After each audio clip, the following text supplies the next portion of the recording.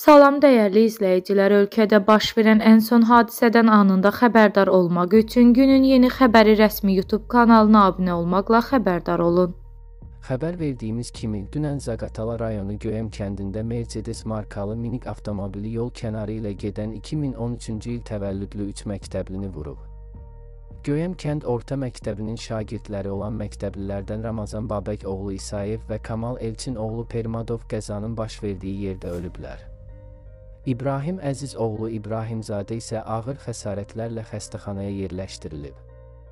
Onların hamısı eyni sinfin şagirdi olub. Sürücülük hüququ olmadan avtomobil idarə edən Emin İbrahimov isə törətdiyi ağır cinayət əməlinə görə polis əməkdaşları tərəfindən tutulub. Göyəm kəndinin icra nümayəndəsi Cuma Qurbanov bildirib ki, Şagirdləri vuran şəxs qatil Emin ləqəbi ilə tanınır. Deyəsən, əvvəllər cinayət törədib, həbs yatıb, ona görə belə adlandırılır.